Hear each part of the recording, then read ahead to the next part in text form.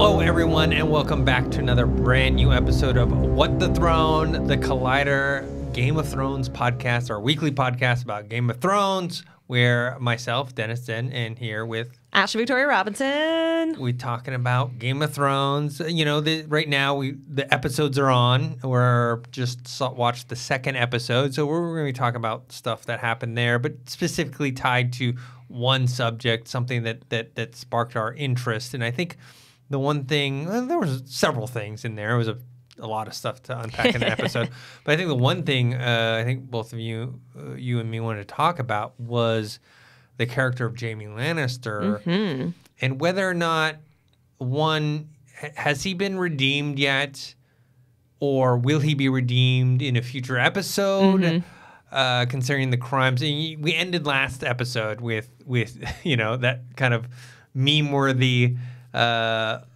meeting of eyes with Jaime Lannister and Bran Yes, Um, yeah, yeah. yeah if you see all the the memes out there they're they're pretty pretty funny Bran Uh, is like Loki, the most hilarious person on Game of Thrones now, even though he's been elevated to this incredibly serious role. Yeah. Um, so let's let's talk about it. I mean, his character when in the first season, he's like a, a typical arrogant bad boy, you know, who's good looking but doesn't care about anyone but himself, does bad a lot of bad things and very one dimensional. I mean, even towards you know, it's not just the first pilot episode. You see him like um, you know, fighting Ned Stark and, and In the streets of King's Landing, yeah. so now we've taken his character all the way to where he is now, and he almost has a trial of sorts Mm-hmm. in this episode where he he could be killed. I mean, if they decide, if Daenerys decides, you know what, uh, I think I'm gonna kill you. You killed my father. Uh, Prepare to die. yeah.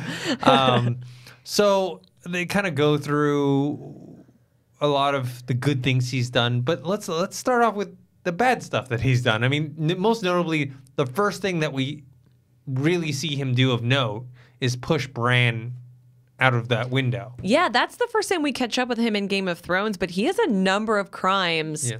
up to that point that he's also responsible for as well. And I said this out loud when we were watching the episode. I can't believe that we went from this, you know, sleeping with his sister, mm-hmm. pushing little kids out a window, and and the scene with Brienne is very moving. And you look at Jaime, and he feels like a real hero. He's come a long way from, you know, the things we do for love, which Yeah. every time I say it, the song plays in my brain immediately. Mm-hmm. But the Lannister family, you know, very pre events of Game of Thrones, they were Targaryen backers. Then they switched to back the Baratheons mm-hmm. right when the war was basically over. Mm-hmm. You know, Jaime killed Aerys debatable whether that was actually the right thing to do or not, you know, putting aside the Kingsguard oath. But then um, you know, he he's slept with his sister. He betrayed his father. His father didn't want him to join the Kingsguard. He did it because he was marrying Cersei off, which Jaime didn't like. He's always been. Def- Jaime's kind of all of in the beginning, all of the dumb and stupid and bad Lannister traits personified, and we slowly see him becoming some of the better family traits. Um, you know, he basically does wrong by the entire Stark family. He gets Ned murdered. He makes fun of Jon for uh, going to the wall. He pushes Bran out a window. He doesn't protect Sansa from Joffrey. He doesn't protect Arya from anyone. Um, he's supposed to go. Catelyn releases him and trusts Tyrion and sends him back to King's Landing theoretically to trade for Sansa and Arya. He he fails. He doesn't do that. Um, so they're all they're all kind of mad at him, and then he winds up betraying Cersei and Tyrion. He betrays Cersei by letting Tyrion go. He kind of doesn't stand up to Cersei and not getting Tyrion arrested in the first place. Um, and a lot of people um, online have been making a lot of noise about the trial, as you called it. It's not even his first time going up against Daenerys. He led the Lannister army in their assault against Dany and her dragons. Now, I don't think him and Daenerys were maybe as aware of each other as they are in that moment as we saw in this episode, but they have had a physical confrontation with armies before. So like Jaime just has so many sins to atone for. Yeah, I, I would say at least uh, for, from my perspective, when he killed the Mad King, Aerys, like that was actually the right thing to do. But it's funny because I think what drives his character is the one time, and not the one time now because he's done a lot of good stuff since, but that one big thing that he actually did uh, that I think was the right thing, he gets the most shit for. Yes. He gets like Yes. It's like I I saved a bunch of you, like million people. What they say, a million people in King's Landing. Yes, I, saved, I, yeah. sa- I saved a million people, and I get tons of shit. I get called the Kingslayer. People don't trust me. They people say I'm not an honorable person. Mm-hmm. Blah blah blah. So it's like that thing has been like driving at him. Like in a way where it's like, oh well, you you, you say I'm the villain. Well, I'm just gonna act like the villain, you know? Yeah, totally. Uh, Jaime is actually held up in the books, I think, a little more. So I think it's explained a little more by Sandor Clegane is one of the reasons why Sandor doesn't care to be knighted because he says, I know how knights act. I don't want to be a knight. I don't want to be like that. And he uh, particularly references Jaime, the Kingslayer. And in the books, Jaime is constantly running from that title and what that means and the results of that. And especially during his journey with Brienne around the time that he gets maimed, he explains to her on that how bad it was with Aerys at the end, what it was like to stand there and smell the bodies cooking Yeah. as they were killed and to watch all the slaughter and do and to be able to do nothing about it because you stood there and said a couple words. And it is interesting as that story becomes more unpacked through Jaime, that's when I kind of agree with you and I come down on Jaime's side. I'm like, you know what? I think you did the right thing. Someone was gonna have to kill Aerys anyway. Yeah. It might have been Ned, but also because of the story from as told by Ned mm-hmm. Stark of Jaime sitting on the Iron Throne after. Mm-hmm. I think that's a big Jaime's pride is a big strike against him and one of the mm-hmm. reasons why people don't like him. Yeah, but I mean, he turned into a much more likable character. Absolutely, I- I- I, think that transition started with the, the trip with with Brienne. Mm-hmm. I mean, if- you know, before a, a lot of the stuff, he, we did see like his his relationship with Tyrion. I, I know that. Um, It's a I big remem- saving grace. I remember in the in the first season, you know, the first time I watched it, Mm-hmm. first time of many, because I wasn't a book reader, I didn't know his relationship with Tyrion. Yeah, right? yeah. And later you get that, you see that, and book readers have told me, okay, yeah, they actually he cares a lot for us. So that added some more depth to his character, and, Mm-hmm. and something that, that was kind of more in the pro column for Yeah. him. That that he was willing to because when you watch the first season not knowing this and he says oh we're gonna he, he, he wants to get his brother back Mm-hmm. you don't know if that's like because of his relationship or it's like like his father which is oh he's a lannister so by Mm-hmm. By the way people look at things by optics standards we have to he can't be a prisoner we have to get him back Yeah, so yeah. and then later you learn no no he actually has a a, a very good relationship with his Yeah, brother. that's a much more Tywin POV. Like, well, we're Lannisters, so we have to do whatever. All of all of uh, Jaime's crimes too, and uh, you know, I listed them before, and they are they are multitudinous. Mm-hmm. Um, all of Jaime's crimes, kind of like the the killing of King Aerys, they kind of are well motivated. Mm-hmm. They're like an ends to justify a means. Like he pushes Bran out the window because he loves Cersei and he wants to protect Cersei. He kills Ned Stark and attacks him in the street because he loves his son Joffrey and he wants to Mm-hmm. protect Joffrey. So even if we don't like Cersei or we don't like Joffrey from that character's perspective, he's acting the same way Catelyn Stark acts. He's acting the same way a lot of other characters act. Um, but because of who these people around him are, it's not until later when he starts acting selfless for Tyrion a little more and for Brienne and then for Sansa, you know, like for these characters that we like a little bit more, that we're like, oh, okay, yeah, Jaime's a pretty good guy now, right? Well, not only that, um, and he mentioned this in in this past episode. wh- He didn't seem to have any regret over his actions, right? Like pushing Bran out the window. Is like when he does it, there's no conflict, internal conflict with him. Like, oh my god, there's a kid. he doesn't even look back when he he just Yeah, he was just like, bam, like, and just assumes that he's dead. Mm-hmm. You know, um, He tells Catelyn that um, when she confronts him when she, uh, he's her prisoner at the end of the first season. Like he says what happened, and she says, "Why did you push him out the window?" he says, "I I hoped you would die." yeah. You know, and he's very. It seems flip, but Jaime was knighted when he was sixteen. He became a member of the Kingsguard when he was twenty-one. That's very young.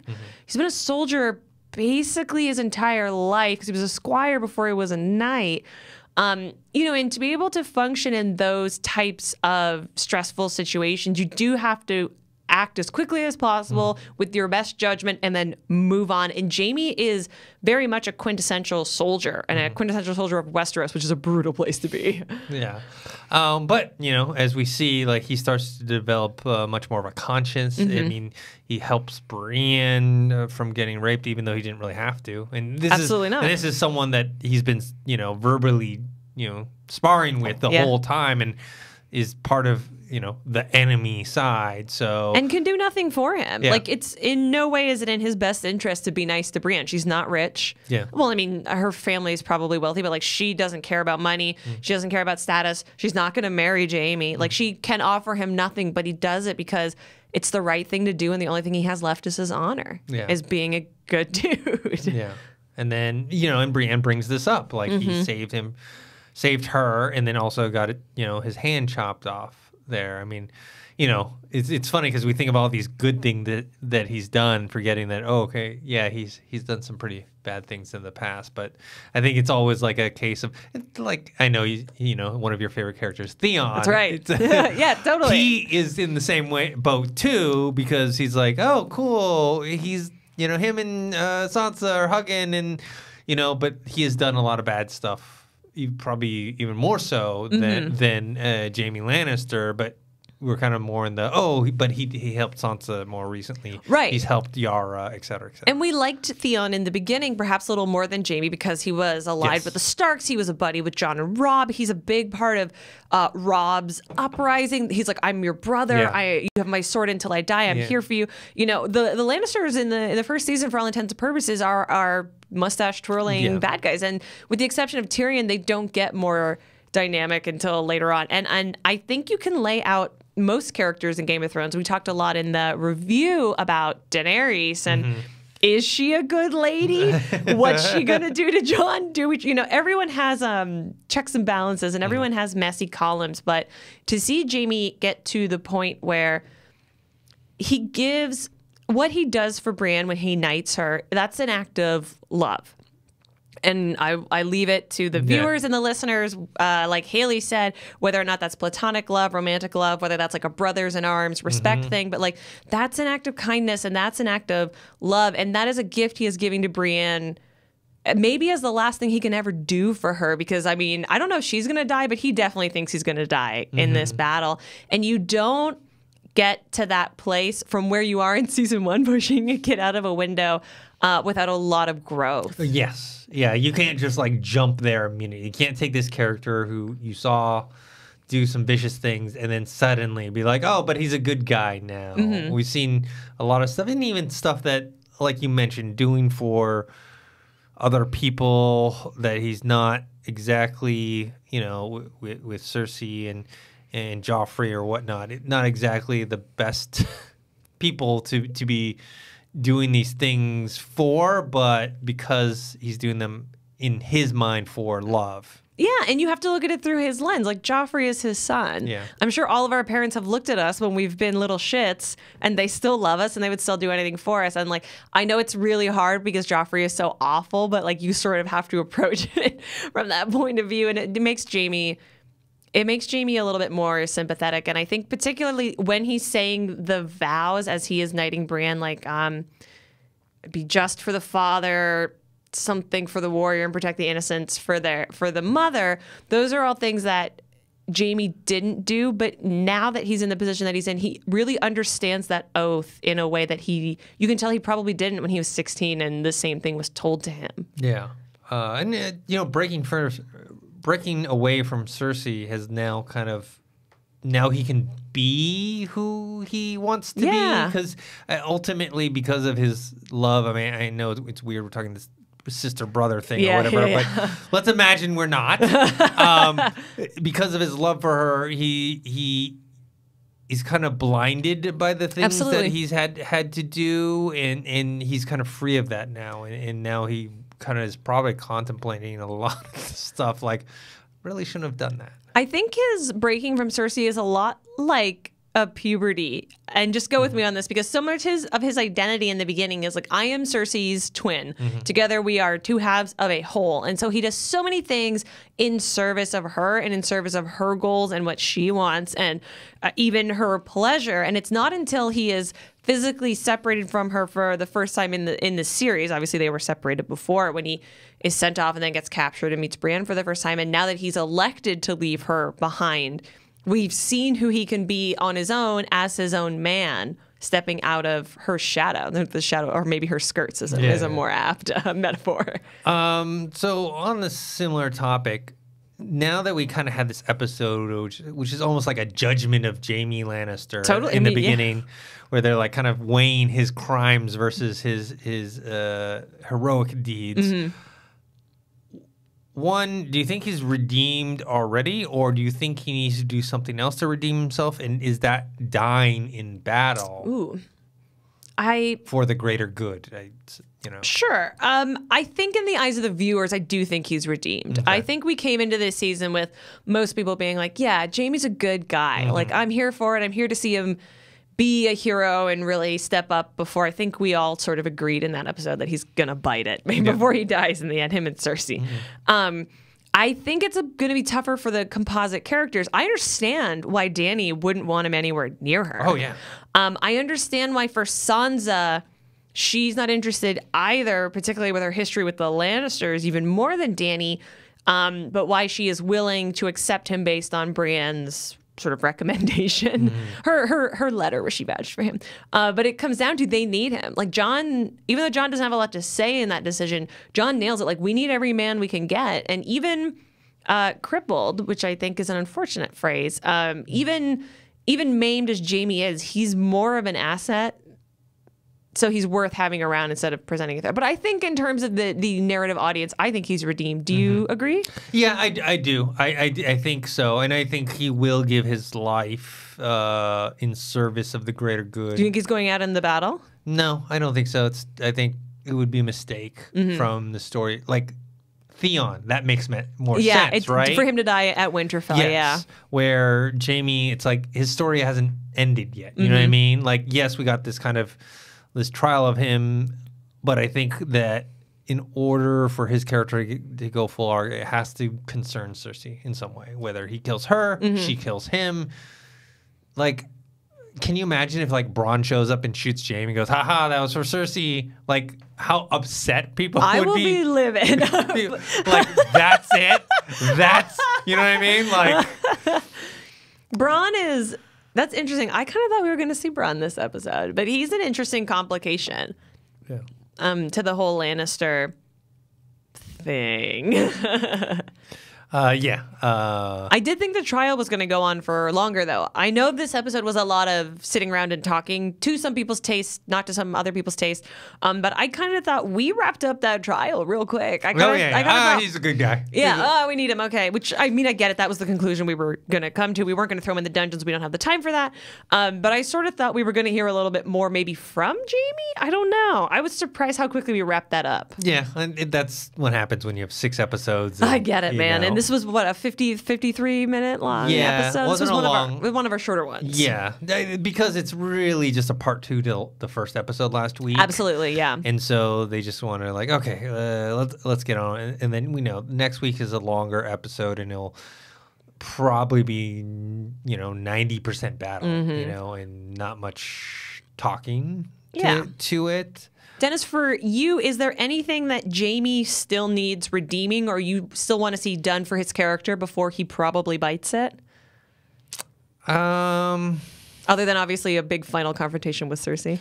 yeah, I think that might be it. I, I think he's, you know, they had that moment with him and Bran for a reason, so that it would be like, oh, he's like, are you you're not mad at me? He's like, no, I'm, I'm good. I'm Yeah. cool. I'm beyond you. You know, that's basically what he's saying. Is like you, you, you doing this to me is like nothing compared to like what we have coming to us. You know. Yeah. So I, I think that would be the main thing because the rest of it, you know, yeah, he did fight Ned Stark and what, so he didn't kill Ned Stark. And a lot of the, you know, remember even Cersei didn't want Ned Stark killed. She was like, No, it was it was Joffrey. It was Joffrey? She wanted him to go to the wall. Like mm-hmm. Be, you know, humiliated, Humbled, dishon- yeah. dishonored, but hey, we still need the Starks. We'll get one of the younger, more manageable ones because, you know, they they were going to go to war over Ned Stark being uh, captured. But Yes. if he had been like, hey, okay, I admit my crimes, even though he didn't really do any of that stuff, and he went to the wall, like Robb Stark would have been like, well, now what am I going to do? You know what yeah, I mean? yeah. He, like he even even if he knows that it's not true, he's admitted it in front of all the people. They He's all perjured know himself. Exactly, yeah. and he's going to the wall with Jon Snow. It's like, well, he, he would kind of have to stop his, you know, his war, his rebellion for for the North, and so. Um, and then what would we be watching? yeah, yeah. Well, there's a lot of things that like if didn't happen, it's like okay, well, we're in a much much better place. Yeah. because you know I always talk about the uh, Renly Baratheon thing. It's like he had the numbers right. Mm-hmm. Plus, he made that he was making that deal with. I mean, they hadn't settled on it, but it was pretty much set, right? yeah. All all Robb had to say was, "Okay, I agree," Mm-hmm. and I think I think he would have, and they would have won that war, and then Split the kingdom in half. Pretty much, pretty much. Um, but yeah, I don't. Yeah, I don't think he needs to, but I think he will die. I- don't see his purpose of his character to continuing on mm-hmm. past after this, after Cersei. It, it- that's why I think it, he still has purpose after this battle with the White Walkers and the mm-hmm, Whites and the mm-hmm, Night King. But after fighting Cersei and having her perish or be defeated or whatever, And whatever's going on with this supposed baby, yeah. which, Which that's is- like a dangling participle that I need more information about. Yeah. um, I just don't see where he lands Mm-hmm. at that point. Like we already have, and that's why like I'm like, oh, Brienne, maybe she's still gonna live just because I can I can see her. I think we mentioned before, like she could be in the Queen's Guard, Yeah. you know, Yeah, yeah. and what whatnot, or if for some reason Jon Snow survives, but I don't think he is. I think it's I think he's dying. yeah. Yeah, I, You come around to that? I, I just think because I know you were 50 50 on whether it was going to be Jon or Dany. Yeah, but I'm, I'm leaning more towards Jon Mm-hmm. now. But it, it would be like the last episode. It'd be oh, yeah, yeah, yeah, for sure. yeah, because I don't think just killing the Night King or whatnot. Who knows? Maybe that will happen. There's like a double death uh, Yeah. for them both. Um, but I just don't see them not continuing on this thing that they've set up Mm-hmm. between Dany and, and Jon Snow about his parentage. Like, why bring that up? Why why have that all stuff and have it end up not mattering at Because he all? because he dies in like episode four or whatever, yeah, three yeah. or four. Yeah, I agree. So I I do think I'm leaning more towards his death, but who knows? Maybe Dany dies, but I don't know. It's uh it's tough.